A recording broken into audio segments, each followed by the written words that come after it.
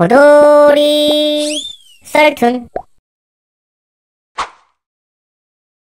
짧고 무서운 이야기 꿈 자주 꾸시나요? 꿈에서 저는 어두운 산속 산장 앞에 서 있었습니다. 무슨 이유인지 저는 삽으로 땅을 파고 있었습니다. 한참 파다가 무언가 걸리는 느낌이 들어 들여다보니 웬 상자가 있었어요. 상자를 꺼내 열어보니 그 안엔 나 좀 찾아줘.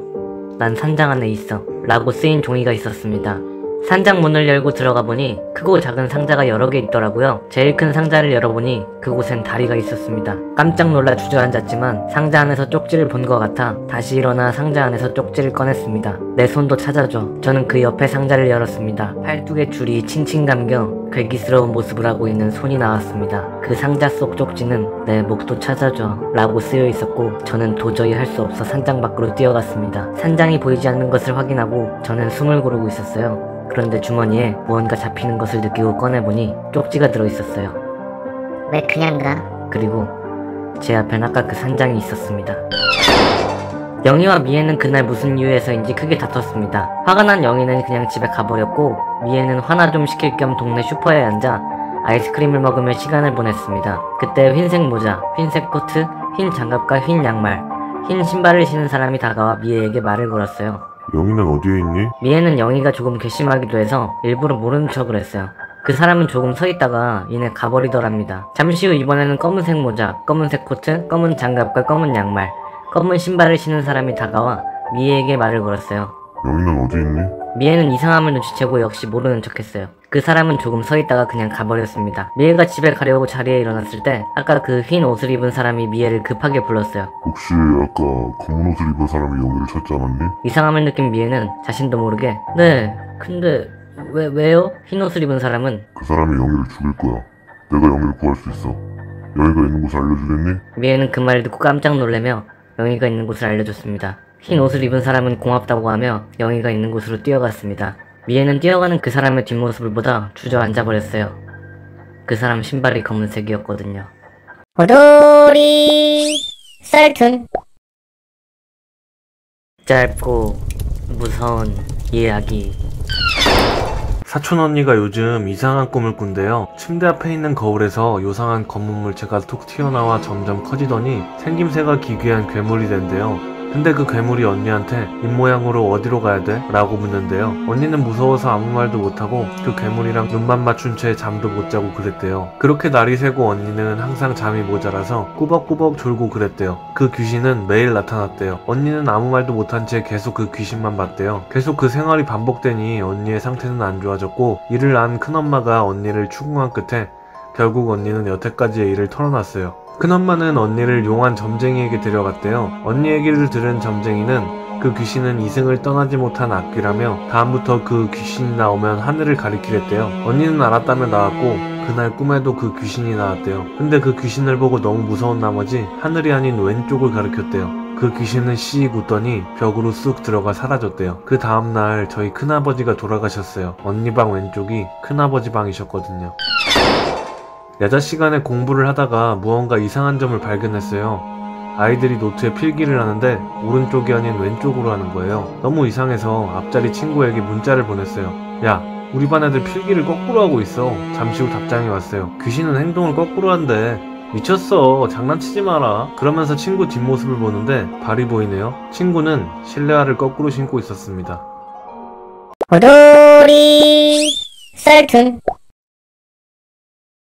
짧고 무서운 이야기.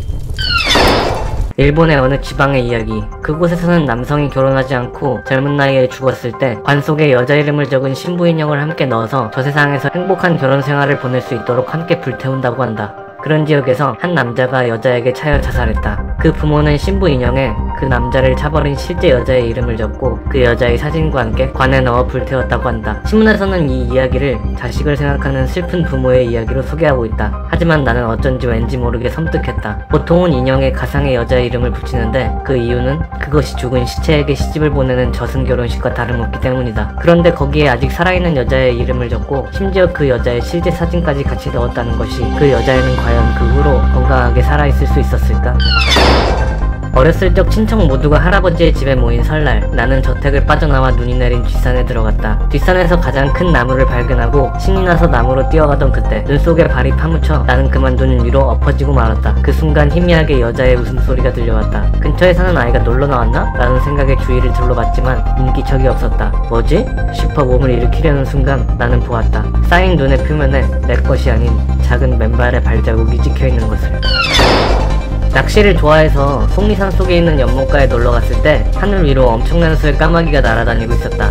기묘한 분위기에 휩쓸려 꼼짝도 못하고 있던 그때 갑자기 연못의 중간쯤에서 부르륵 하고 거품이 솟아올랐다. 그 거품을 중심으로 수면은 검붉게 물들었고 잠시 후 대량의 살점과 뼈가 차례로 떠올라왔다. 까마귀들은 그것을 기다렸다는 듯 연못 쪽으로 내려와 그것들을 쪼아먹었다. 어딘지 모르게 불길한 광경. 나는 무서움에 산 아래로 달려 내려왔고 집에 오자마자 잠이 들었다. 다음날 나는 TV에서 섬뜩한 뉴스를 볼 수 있었다. 다음 소식입니다. 서울에서 실종된 8세 여아가 속리산 인근에서 다리만 발견되었습니다. 어쩌면 내가 봤던 까마귀들이 먹고 있었던 건 저 여자아이가 아니었을까?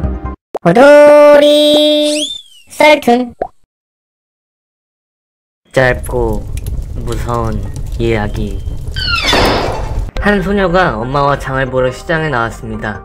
소녀가 시장을 둘러보던 중 인형 가게를 발견하게 됩니다. 소녀는 인형 가게에 전시된 삐에로 인형이 마음에 들었습니다. 그녀는 엄마에게 삐에로 인형을 사달라고 졸랐죠. 엄마는 할 수 없이 인형을 구입합니다. 그런데 인형 가게 주인이 엄마를 붙잡고 이렇게 말했습니다. 그 인형과 아이를 절대 둘만 두지 마세요.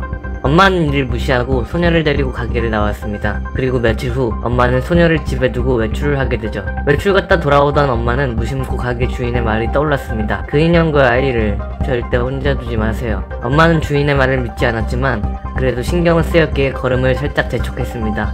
엄마는 집에 도착하여 소녀를 부르지만 집에는 정적이 흐릅니다. 불안해진 엄마는 다급히 거실로 들어갔고 그녀는 소파 위에서 입가에 피를 묻힌 삐에로 인형을 보게 됩니다. 엄마는 조심스레 말을 합니다. 혹시 네가 우리 딸을 그러자 삐에로 인형이 씩 웃으며 대답합니다. 어? 또 둘이 남았네?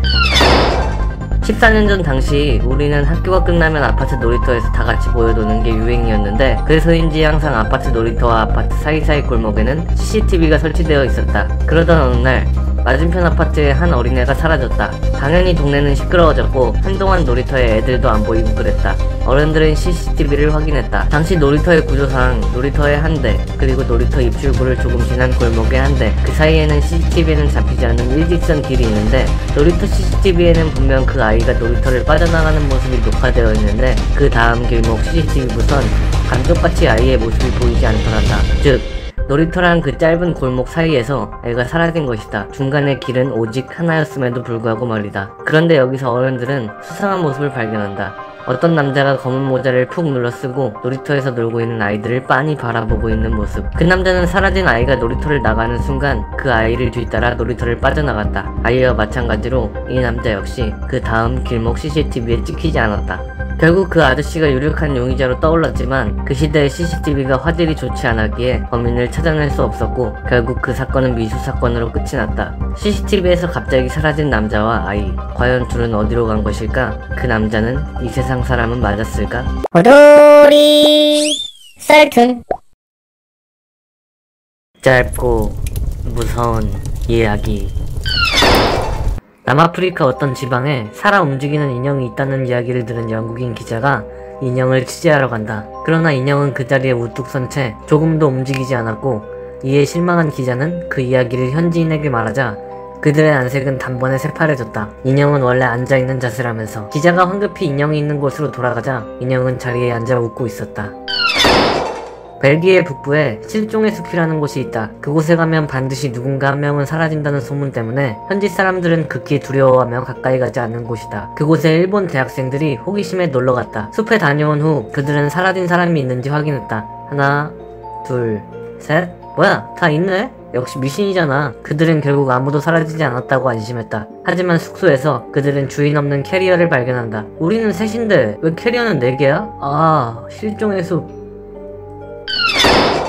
기네스에 신청되었지만 받아들여지지 않은 세계 최소의 유령이 있다. 시카고에서 보석 직인으로 일하는 조지 제임스 톤이라는 남성의 목격 증언이 그것인데 어느 날 손님의 주문을 받아 5캐럿의 다이아몬드를 자르기 위해 확대 렌즈로 들여다보는데 그 안에서 이상한 것이 보인 것이다. 다이아몬드 안에 여성이 있다. 조지는 놀란 나머지 소리도 낼 수 없었는데 그녀가 사라지기 전까지 계속해서 그를 응시하고 있었기 때문이었다.